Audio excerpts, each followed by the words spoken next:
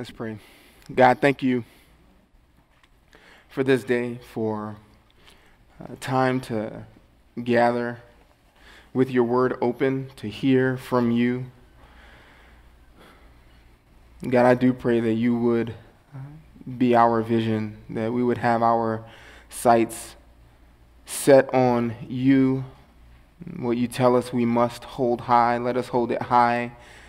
What you set before us as a matter of priority. God, I pray that you would strengthen uh, these weak hands to cling to those priorities, God, and that you would uh, give us the courage to align all of our life beneath your authority and to pursue what you say we must. God, help me to be clear in these next several moments as we look again at your word. And God, we pray that you would uh, grant clarity to all those listening, that we might uh, together as, as a church labor alongside each other and press eagerly into the kingdom. And we ask all this in Christ's name. Amen. Go ahead and open your Bibles once more to the book of Haggai. The book of Haggai. We began here last week, and we saw that in this brief Old Testament prophecy, the prophet Haggai had one burden, and that was to urge the people to rebuild God's temple. To rebuild God's temple. And the way I trying to capture the purpose of this book was that Haggai was calling Israel's remnant really to prioritize God's gracious presence and enduring promises over earthly comfort by rebuilding this temple. The temple embodied those things, God's gracious presence, that He longed to dwell with His people as their God so that they would be his people. He would perpetually, continually forgive their sins as they approached him on his terms, offering sacrifices, making offerings, and in that way they would experience the grace of God's presence. And we also saw last week that as God's people, faithfully did this, they were looking not only to the past and what God had prescribed, but also they were looking forward to what God had promised. Forward to a seed of David reigning on David's throne, having eternal dominion, a kingdom without end. Those promises were all forthcoming. And so, by rebuilding the temple, once they came back into the land. This would have been an act of faith to say, We trust what you have prescribed, how forgiveness is accomplished in this temporary way through the sacrificial system, and we are trusting and by faith waiting on your coming promises. These are promises that do not go away, they endure. And so, building the temple being the way to communicate those things was of the utmost importance. And so God specifically places Haggai, uh, as well as some other formidable leaders, Ezra, Nehemiah, Zechariah, in this same period of time to lead the nation in this endeavor. Now, this book, as it captures the need to prioritize what God prioritizes, to love what He loves, and faithfully live in obedience to those priorities. That was necessary in Haggai's day, and that's also necessary in our day, which makes this particular Old Testament book, short as it is, incredibly relevant to us.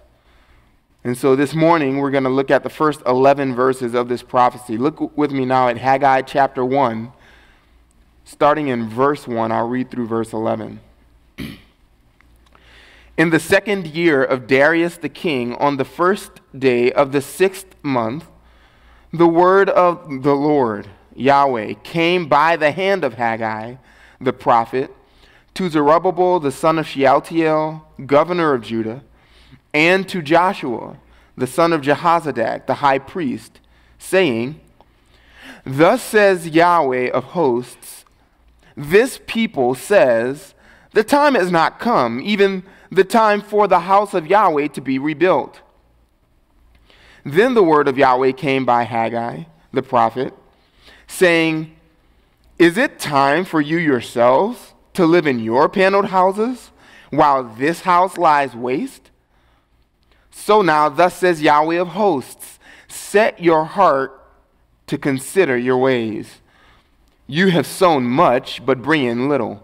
You eat, but there is not enough to be satisfied. You drink, but there is not enough to become drunk. You put on clothing, but no one is warm enough. And he who earns, earns wages to put into a bag with holes. Thus says Yahweh of hosts Set your heart to consider your ways. Go up to the mountains and bring wood and rebuild the house of God, that I may be pleased with it and be glorified, says Yahweh. You look for much, but behold, it comes to little, and you bring it home, and I blow it away. Why? declares Yahweh of hosts. Because of my house which lies waste, while each of you runs to his own house. Therefore, because of you, the sky has restrained its dew, and the earth has restrained its produce. And I called for a drought on the land, on the mountains, on the grain, on the new wine, on the oil, on what the ground brings forth, on men, on cattle, and on all the labor of your hands. This morning, what we'll see is four features of Haggai's effective message four initial features of Haggai's effective message. This was an incredibly effective message.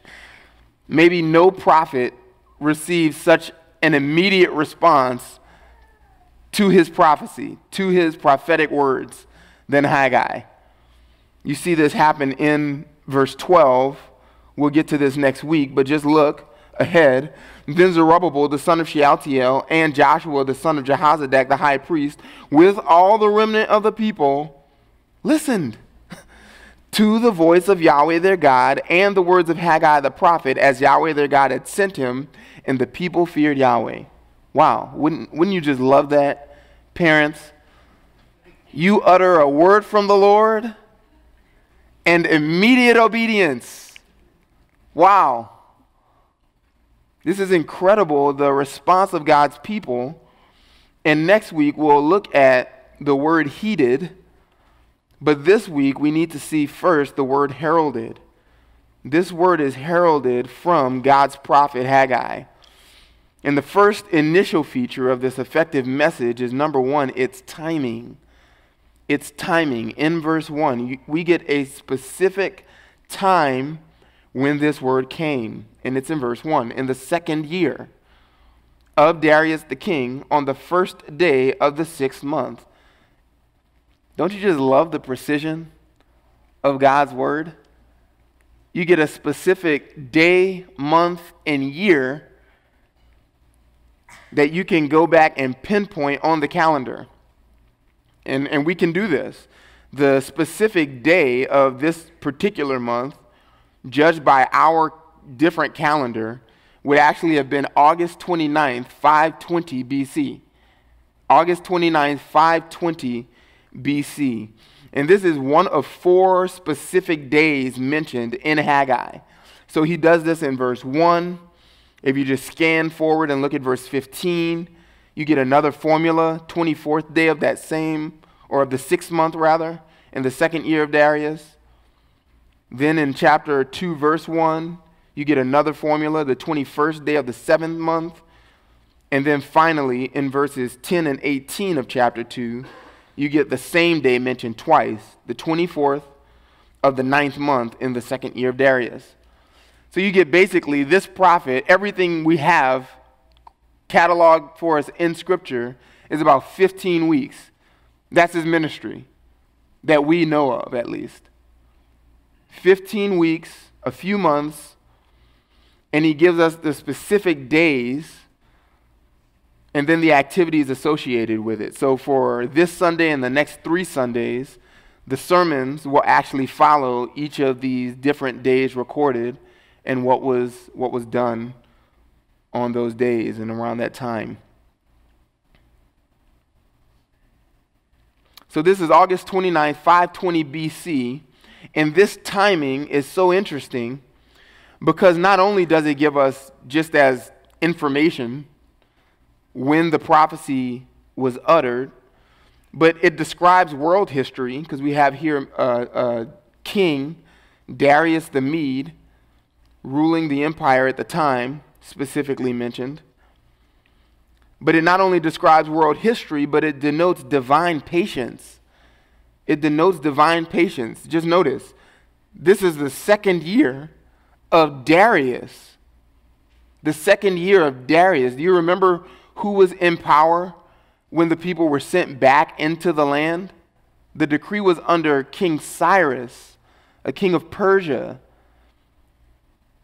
The, the world scene has changed. And when that first decree was made by Cyrus, that Yahweh had uh, appointed him to build him a house in Jerusalem, that was some 17 years prior to what we're reading here in Haggai. 17 years ago, from when Haggai prophesied, the people were sent into the land to rebuild this house. Or at least the decree was, was made that the people were sent. And then 16 years before this, so a year after the decree was made, the foundation was laid. And nothing has been ma- done since then. No progress has been made the house still has not been rebuilt, this house of God. And so this highlights for us the patience of God to still say to his people, that house that I sent you back to be rebuilt, it still needs to be rebuilt. And God is patiently waiting on his people to obey. This implies that obedience is always necessary. There's not an end point to when our obedience is required by God. If you've delayed obedience on something, some duty, some obligation for even 16 years, and God has been patient with you, then don't delay any longer. Obedience is always necessary. And as long as we have breath, then it's never too late to turn to God and obey in faith. This is, this is great news for us. The second thing we need to see beyond the timing of this effective message is its transmission. Its transmission. How is this message faithfully passed on? Look again at verse 1. At this particular time, Haggai writes, the word of Yahweh came by the hand of Haggai. Now, if you're reading, depending on what translation you're reading, it might just say came by Haggai or came through Haggai. Uh, the ESV is one of the few translations to literally, consistently translate this phrase, but in the Hebrew, it's literally by the hand of. By the hand of. And then the same thing is repeated again in verse 3. Then the word of Yahweh came by the hand of Haggai, literally by the hand. What does this mean? This, this implies a few things. One, the transmission of this word from God was written, not merely uttered, not merely spoken. It wasn't merely audible, but it was a written word. God is speaking through the pen of Haggai. It came by Haggai's hand.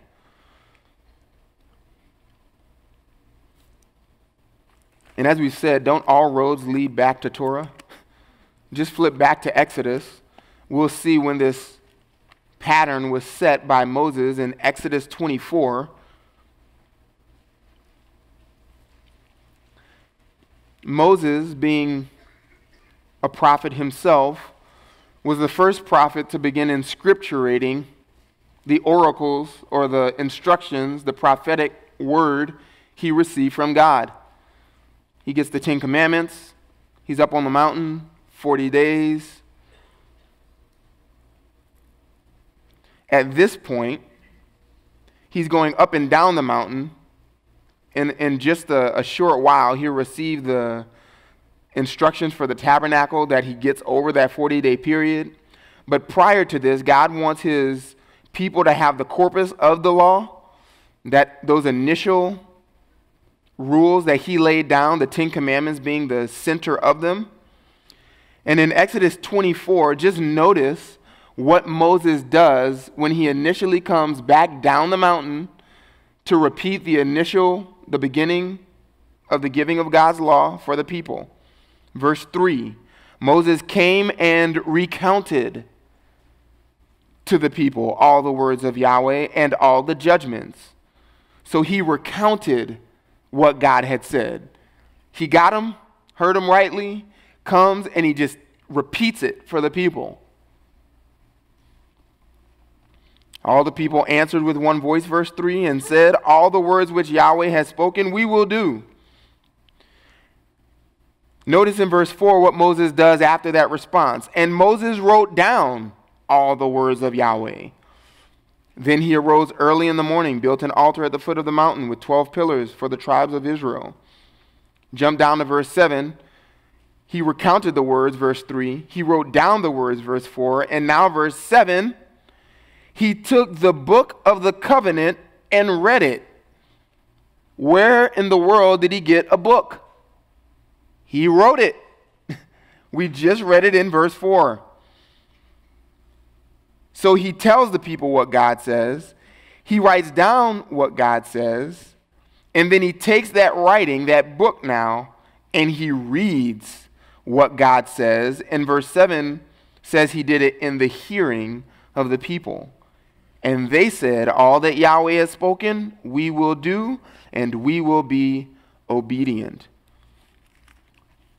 Just fast forward one more time to chapter 35, verse 29. And we'll see this same phrase that was repeated in Haggai here said of Moses. Exodus 35, verse 29. The sons of Israel, all the men and women whose heart was willing to bring material for all the work which Yahweh had commanded, how? Through the hand of Moses to do. They brought a free will offering to Yahweh. So when it says through the hand, by the hand of this prophet, it means that the prophet is giving a message that he has written down. The same thing is happening here in Haggai. So the transmission of this effective message was written, it was human, and it was prophetic. All of these characteristics apply. It was a written word, but it was also a human word. Just notice again back in Haggai it came by the hand of a man with a name Haggai. This did not cease to be the word of the Lord because Haggai wrote it, or because he preached it, or because he read it. You know, your, your friends perhaps that are skeptics saying, I don't believe the Bible because man, it's tainted by man. You know, never mind they believe everything else man says. But here it is still the word of the Lord. It maintains, it retains its divine properties, even though it's coming by a human agent. And notice this is by the hand of Haggai the prophet. So it's a prophetic word. This is divine revelation given to a man to be repeated without flaw as one who holds the office of prophet. And always uh, most notable when someone holds this office of prophet, they have something to say about the future. They have something to say about the future. This is often a characteristic of prophecy. It's what distinguishes biblical prophecy from other types of sacred religious writings. God is not afraid, as we've seen in point one and now point two, to stake his reputation on details that can be either affirmed or denied, that can either come to pass or not. God's word attached to real human history. Go look and find out if it's so. Yep, real human king existed. And here he is uttering a word for his people by the hand of his prophet. The third thing we need to see about this effective ne- message, this initial feature, number three, is its targets. We have the timing of the message, the transmission of the message, and now the targets of the message. Notice again, still in verse 1, Haggai is writing to Zerubbabel, the son of Shealtiel, and Joshua, the son of Jehozadak. These two key players are where this prophecy takes aim primarily. Who are these men? Zerubbabel is the governor of Judah. In the Persian Empire, they had established, uh, as they sought to maintain unity within the empire, which the Medes carried on, sort of overseers of various territories, where these governors, these rulers, these men who oversaw the various territories, Sheal, uh, Zerubbabel, the son of Shealtiel, is one of them. He is the governor of Judah.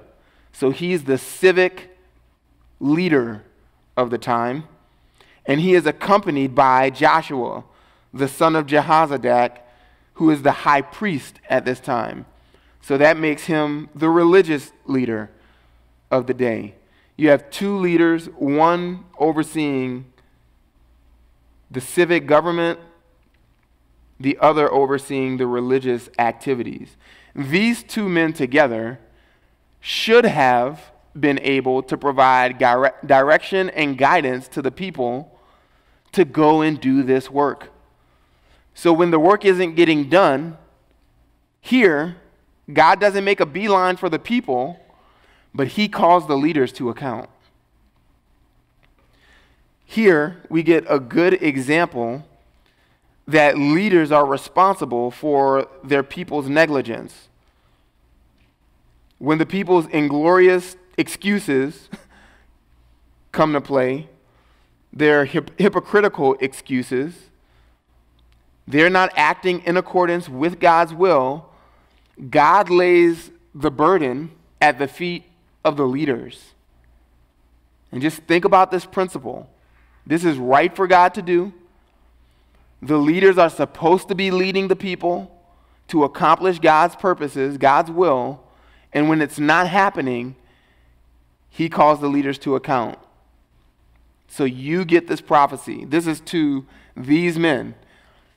And we're just think about the dynamic. We're reading this now. So at some point, this letter was handed down for all the people to read. And now, again, at Grace Bible Church in Tempe, Arizona, all the people are hearing it. And then the, the two names of the leaders are front and center. This is for them. So all of the people would have known they're not doing their job. Just think about this principle in the home for a minute. Whose responsibility is it? Because Haggai is, again, addressing the priorities, the wrong priorities of the people.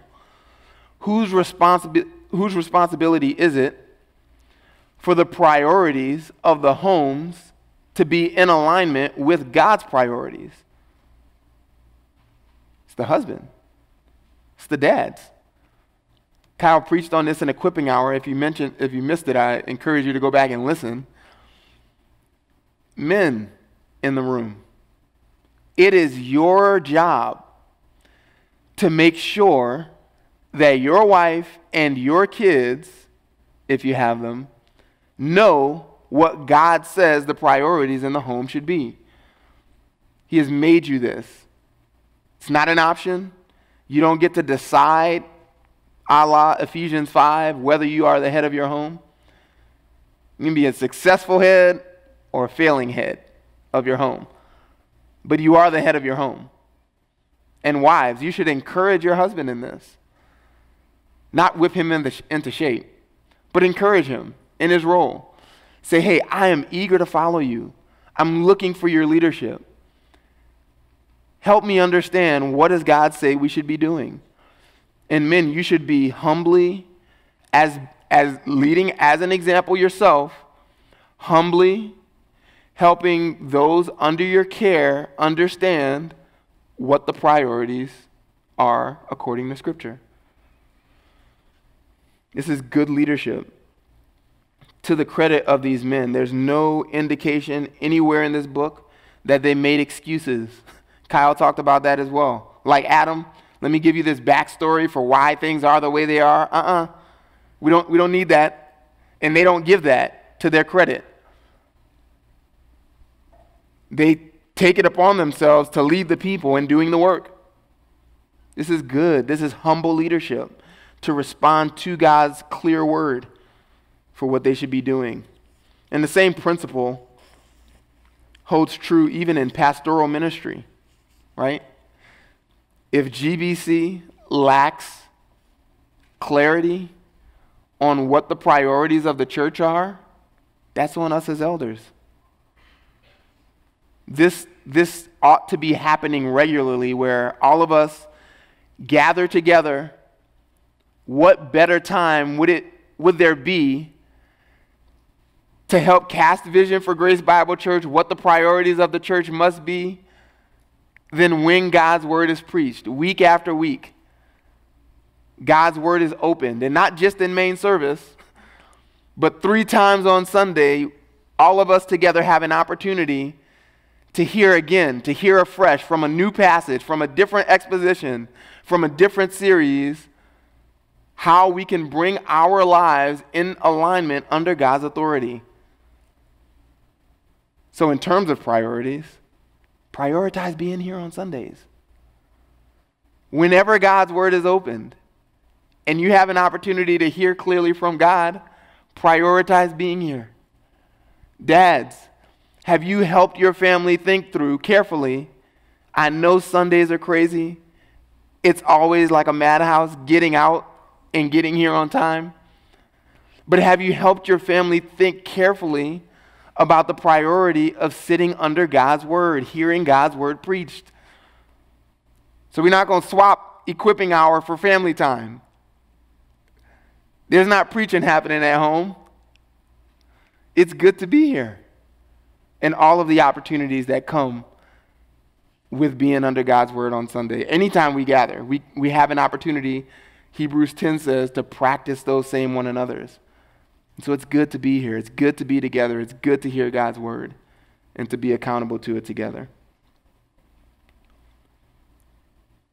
The fourth thing that we need to see from this passage, and this takes us all the way through the end of the passage, verses 2 all the way through verse 11, is the teaching of this effective message. The teaching of this effective message. In Haggai's message, he does not skip merely or quickly to the application.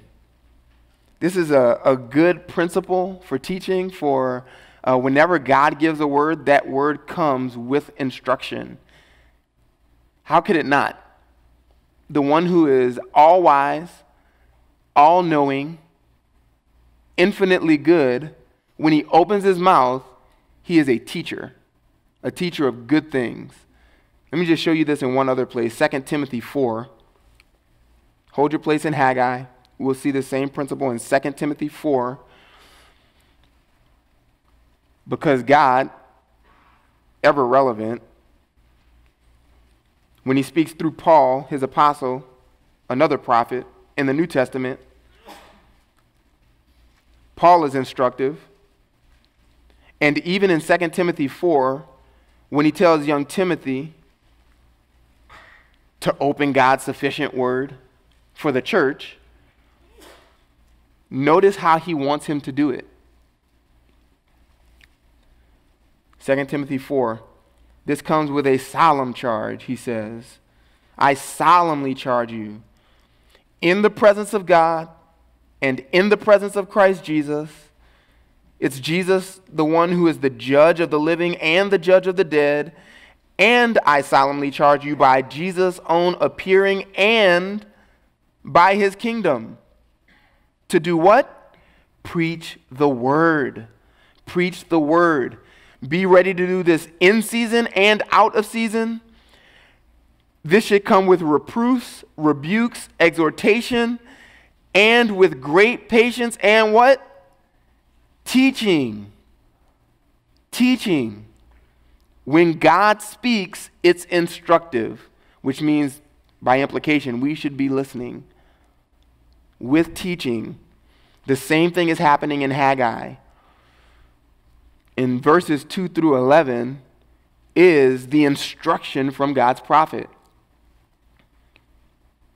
Not just spoken again, but by the hand of God's prophet. And here's what he says in verse 2 Thus says the Lord of hosts. This people says the time has not come, that is, the time for the house of Yahweh to be rebuilt.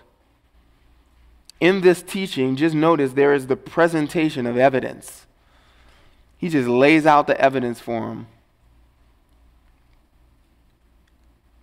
When, when you're hearing from the one who is omniscient, who has all evidence available to him, nobody's getting off the hook. Notice that God quotes the people. This certainly would have been spoken at the time. And apparently, it was a, enough of a saying that the people lived by it and obeyed it, believed it okay, it's not time. And so the house didn't get rebuilt. In this presentation of evidence, there's an assumption of duty because notice the people don't say, we don't have to rebuild the house. That's not what they say, is it? They just say, the time hasn't come yet. So they recognize the house is supposed to be rebuilt, and what they're saying is the time hasn't come. There's a couple different ways you could communicate about time. You could say, for one, you could be talking about a passage of time. Like, hey, there's, there's a time coming, and it just hasn't arrived yet. Sort of uh, what Jesus says about my time hasn't come, right? It's coming. I know it's coming, but it just hasn't arrived yet. There's another way you can speak about time that doesn't speak to the passage of time, but more like an opportune moment, a moment of time, an ideal time, a right time. And that's the one that's in view here. Hey, there, there is a time somewhere, but it just hasn't gotten here yet. It's just not the right time. It's not the opportune moment to go do what God says to do. And so there's not only a, an assumption, a recognition of duty, we know that the house has to be built eventually. But here there's an excuse in this saying for their disobedience. The time just hasn't come yet, it's just not the right moment. This is a hypocritical excuse to continue in disobedience. 16 years long. The time hasn't come for the house of the Lord to be rebuilt. And so they're just saying the time isn't right. Well, as he teaches the people, not only does he present evidence against them because the words are right there in verse 2, but in verses 3 and 4, he just pulls the curtain back on their hypocrisy. He exposes their hypocrisy for what it is. Verse 3 Then the word of Yahweh came this is again by the hand of Haggai, the prophet, saying, Well, is it time for you yourselves to live in your panel houses while this house is waste? So the people are virtually saying something. It's not time for the Lord's house to get rebuilt, but it is time for our houses to be rebuilt, for our houses to get paneled, completed. That, that phrase uh, panel used in other contexts to describe the glory or luxury that the original temple was outfitted with. It was paneled. Um, so this, this phrase that they're living in their paneled houses could denote that they've decked out their houses, that they're living luxuriously. I think that from what else the context says in verses 6, 9, 10, 11, it's probably just intending to capture the idea that the houses have been paneled in terms of their completion. They've been completed, they're done. They're living in well constructed, completed buildings. And they just won't do the same for God.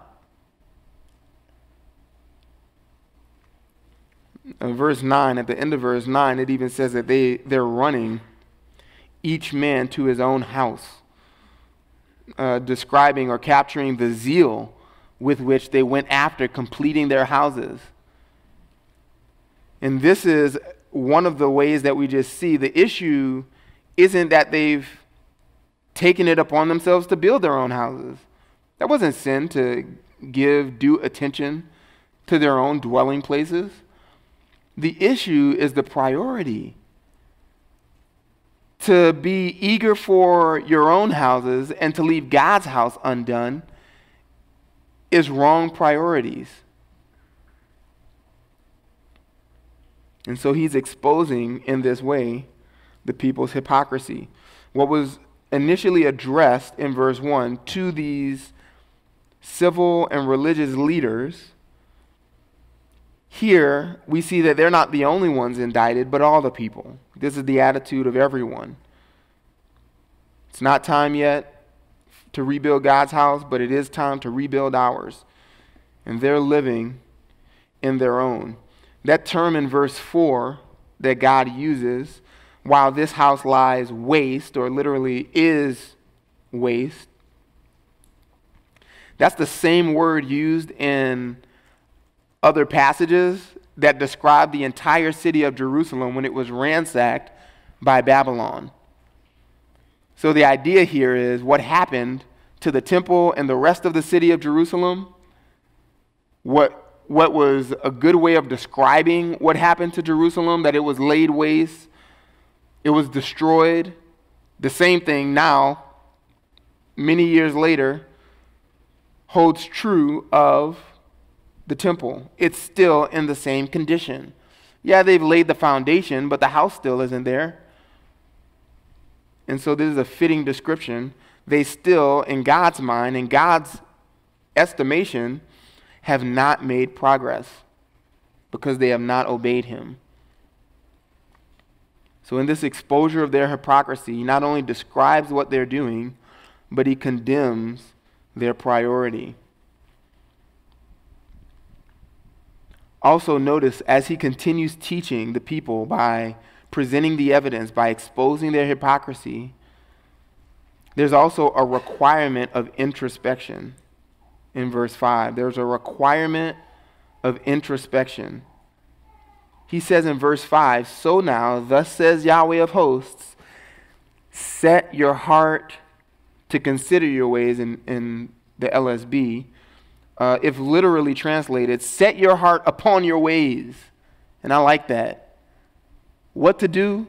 Set your heart upon your ways. This is the, the first imperative, the first command Set your heart. And then again in verse 7, set your heart. You know, this, this should just remove any assumption that what the God of the Bible requires of his people is just adherence to a list of rules, obedience to a set of external regulations and rules and laws. The Bible is full of things to do rules, laws, at times even being called the law. But it's not because God just desires rote, mechanical obedience. He says to do something with the inner person, the inner man. Set your heart. He's calling here for a fixation of the inner life on the pattern of life to take your inner self, This is your heart, where your thoughts, desires, motivations, convictions, beliefs, all of those things tied up in the heart, the real you, the soul, the immaterial self that nobody can see, has no weight, doesn't appeal to the senses, but directs the life. Take that and give real consideration to how you've been living. Set your heart upon your ways. And when repentance happens, whenever genuine repentance happens, it always must begin here to take inventory. Do you do this, Christian? Do you practice taking inventory of your own life? Do you put this on the calendar? Do you make this a priority? Daily, I have to give thought to my ways from the heart. It's on my calendar. I've carved out time for it so that the tyranny of the urgent doesn't govern my entire life. But I say no to good things to undertake the better thing of shepherding my heart, of telling my heart, telling my soul what God's truth requires of me, and then everything else about my life that must flow out of that has to get in line. Do you take time to do that? This is what Haggai is calling for his people to do, for God's people to do. Set your heart upon your ways. And I didn't mention this in verse 2, but just notice how God addresses the people. Not my people, but this people. He is very displeased, isn't he? This people is the idea, needs to set their heart on their ways. And to do that, to help them do that, he gives them several categories to think in. And I've got six to list for their introspection. Here's what he encourages them to consider. First off, as we've already seen, their inner life, because he tells them to set their heart, but not only their inner life, but their outward activity. If I'm going to be introspective and, and consider, if I'm Israel, if I'm the remnant at this time, what do I need to do? Well, I need to consider my inner life and my outward activity that's what's wrapped up in the command to set your heart on your ways, verses 5 and verse 7. But then he also gives them worth considering their own failed pursuits. Their own failed pursuits. Look at verse 6. You have sown much, but bring in little. And I think that functions as sort of a heading over everything else he mentions. They've sown much and brought in little. And so, what has happened as a result of not bringing in very much of what you've sown? Well, you eat, but there's not enough to be satisfied. You drink, but there's not even enough to get drunk. You put on clothing or clothe yourselves, but no one's warm enough. People are earning, but what they do earn, they put into a bag with holes. Wow, talk about being frustrated. And things didn't have to be this way. You remember what we read in Leviticus 26, Deuteronomy 28.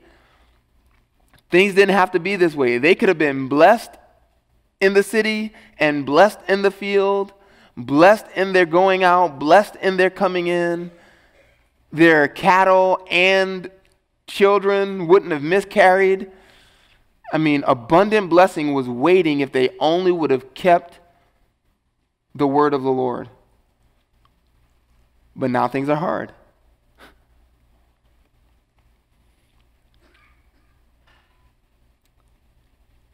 Their failed pursuits, he just puts right into focus and he calls them to take note. They don't have enough to eat, they don't have enough to drink, they don't have their clothing won't function rightly for them and not enough clothing to stay warm or the clothing they do have doesn't warm them and somehow money goes missing. I put it right there. Can't find it, not available when they need it. And you might be thinking, man, that's a, that's a pretty hard life. You know, never having enough, never being satisfied. We don't really know what it's like here in America to not have enough to eat. You know, my children say, Dad, I'm starving. No, you're not. You don't know what starving is. but this gives us some sort of picture of that happening. But just note that the, the hardship of life was not an excuse for their disobedience. It wasn't like, don't you know, God, we're, we're struggling. We don't have time to build the temple. No, this is still required. And in, in truth, if you would be building the temple, your life wouldn't be as hard. As we'll see, God promises in pretty short order to bless them and be with them.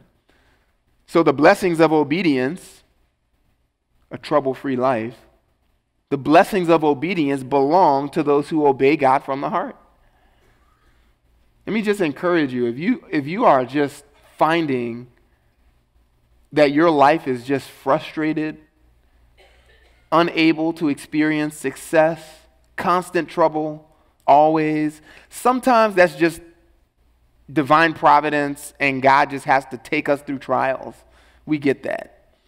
But sometimes, sometimes, like Haggai's people in this day, your life and the difficulty of your life is your fault. And at times, it's time to just take inventory. Is my is the difficulty of my life can't have unity in my marriage? Can't gain traction with my children? Losing friends, constant turmoil, conflict, trouble. Sometimes that's just because we're not operating by God's wisdom. And so, setting our heart to consider our ways is a good course of action. Notice also in verse 8, he puts their obvious duty before them. What else to consider? Your obvious duty. So simple. So simple. Go up, verse 8, to the mountains, bring wood, rebuild the house of God. That's it. Do what you know you should have done. And, and look, that does not sound easy to me. Climb a mountain, fell trees, bring them back down. It sounds like Billy House. Smith's laughing, yeah. Uh, in 2015, a small army of us from this church and partnering churches flew to Papua New Guinea, three week trip, and we did this. We built houses.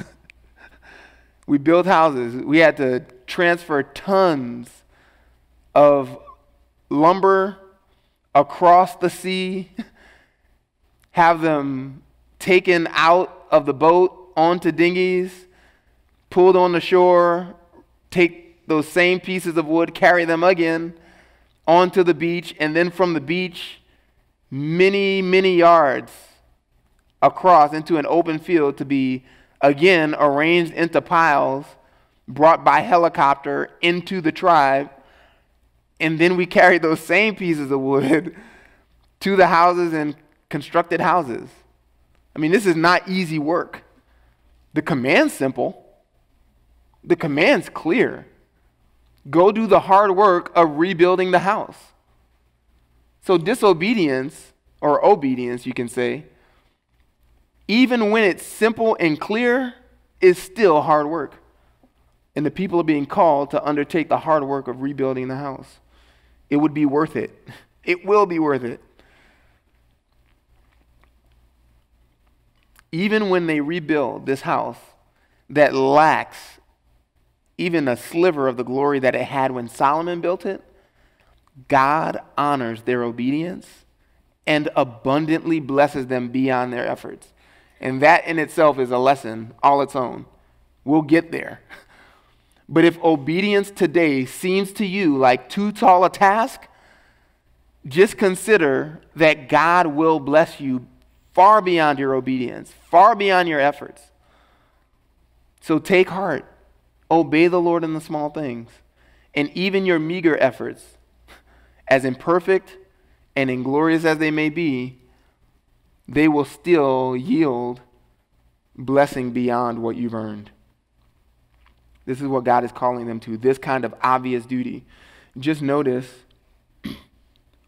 the reasons behind this. He doesn't under, uh, call them to undertake this, verse 8, so that they would be pleased or so that they would be glorified, but this is for His acceptance, so that I may be pleased and be glorified. Um, he would accept the work, He would be pleased with it, and He would be glorified by it. So He would even ensure that He receive the glory from their efforts. This is a pattern for obedience. Whenever we strive with God's glory in mind to obey Him, He makes sure that He gets all the glory. It's for His pleasure, for His glory. We've got to train our hearts, don't we, to be motivated by this? It's not about your own comfort. We could say, okay, if I obey God, my life's going to be made much easier. And yes, that's oftentimes true. But that can't be the foundational motivation. The foundational motivation has to be God's pleasure and God's glory. That is a worthy pursuit. Also, he calls them to consider their frustrated desires. This is verse 9. Their frustrated desires. You look for much, but behold, it comes too little and you bring it home and I blow it away. Why? Because of my house which lies waste, while each of you runs to his own house. You think it's a small thing to have wrongly ordered priorities? It's not, not to the Lord. It is not a small thing to him to live disordered lives or wrongly prioritized lives. God here reveals that he has set himself against his people because they won't get their priorities where they ought to be. So again, looking for much, and then behold, and look, it comes to little. So they're looking for abundance, and God ensures that they don't get it. He is just frustrating their, their efforts here. What they do bring home, he blows it away, clears it out. They just can't maintain what they really want. And isn't that a kindness of the Lord, though? Your wrong desires, um, I love you too much to let you have them. You cannot get the abundance that you pursue. You cannot keep the things that you really cherish. Prioritize me he's telling them. That is a kindness from the Lord.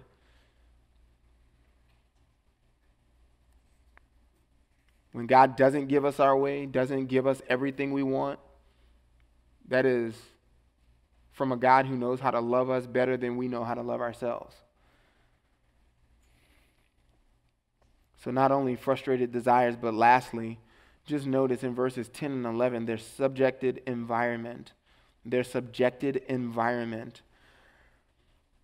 Therefore, and again, he gives them the blame because of you, the sky has restrained its dew and the earth has restrained its produce.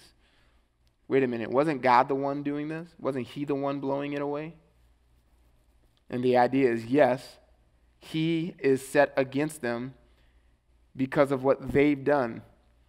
So the sky won't even give dew the earth won't even produce, and this isn't the entire earth, the idea is the land, the same word there in verse 10 being the word in verse 11 for land. I called for a drought on the land. So the sky won't give dew on this land, the territory of Israel that they're now inhabiting. He's restrained the produce of this portion of Israel's land. And he's called for a drought in that same place, in the land. Not only in the land, but on the mountains this is the case. He's called for a drought, as it were, on the grain, on the new wine, on the oil, on what the ground brings forth, literally on the man, on cattle, and on all the labor of your hands. How would you like for God to oppose you at every point? On all the labor of your hands. I mean, you read this passage, and there's a lot of activity. They're building their own houses, they are sowing much, they're eating, drinking, clothing themselves, they're seeking their earnings, they're looking for much, according to verse 9. They're bringing what they can home. Lots of activity, and yet not much to show for it. My mom used to say all the time lazy people work the hardest. You know, every time we threw some trash across the room because we didn't want to walk over to the garbage can, miss. And we got to get up, go get it.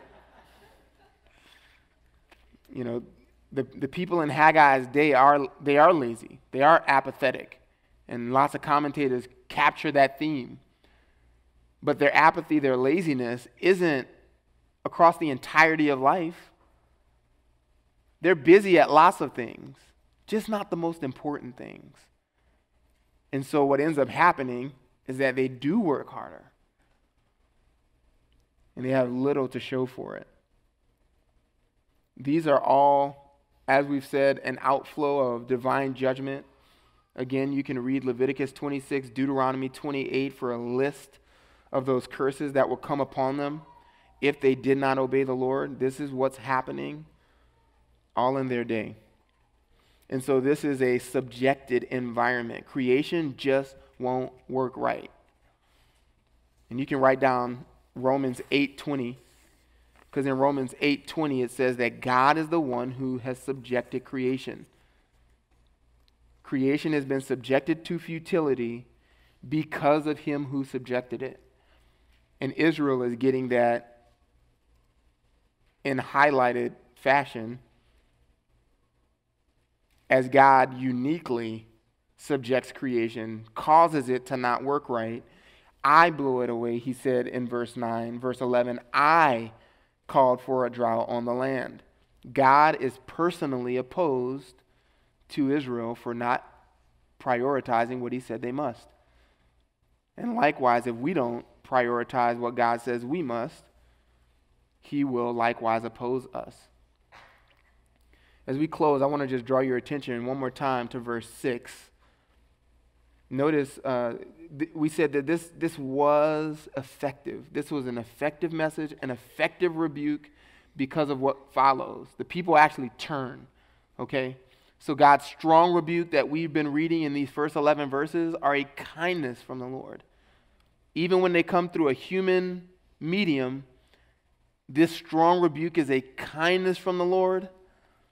So when somebody comes to you with a strong rebuke, a strong concern, and just puts their finger in a tender spot in your life, receive it as a kindness from the Lord.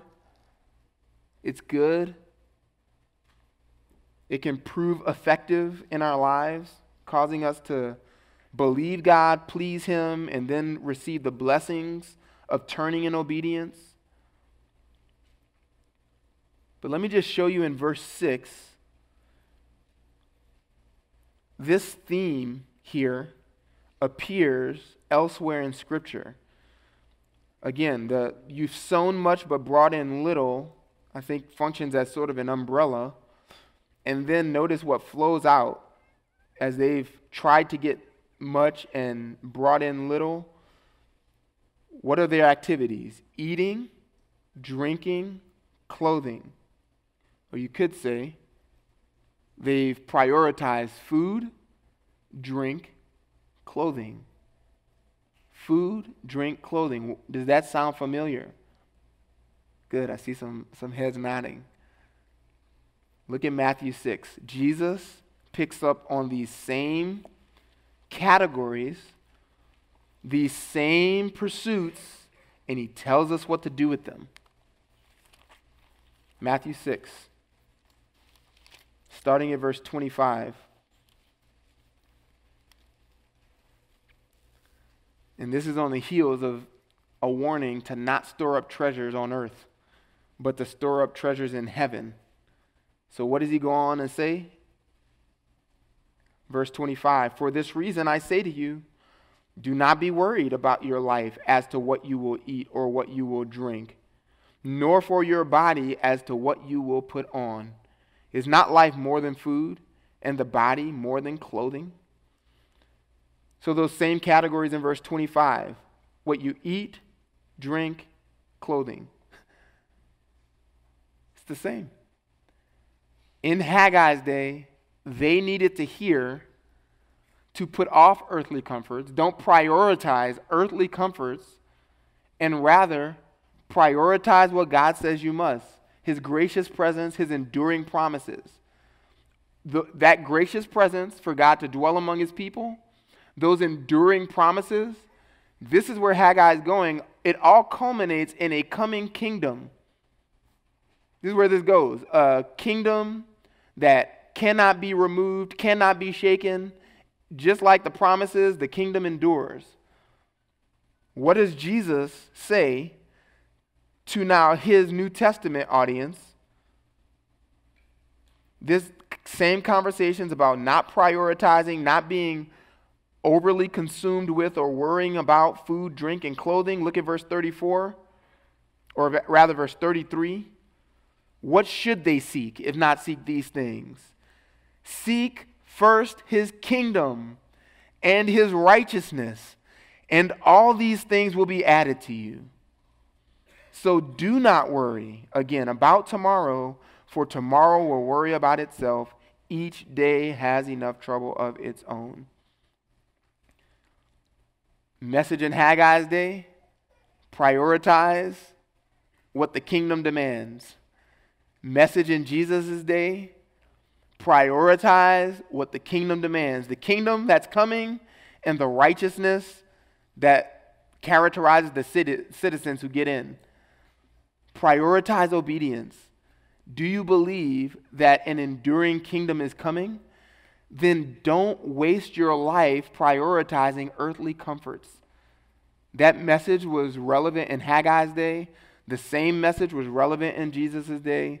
The same message is relevant for us. Seek the kingdom, seek God's righteousness. God will take care of the rest. Let's pray. God, thank you for such comfort, such comforting words, even uh, the, the comfort that can come from a clear rebuke, a clear warning against such priorities. You are such a gracious God who has compassion to warn us against things that would be harmful to us, that would be suicidal to the soul.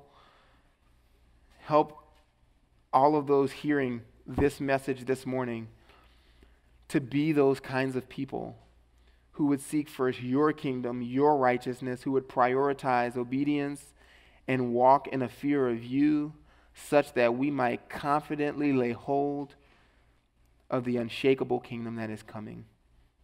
And we pray all this in the name of the King, Jesus. Amen.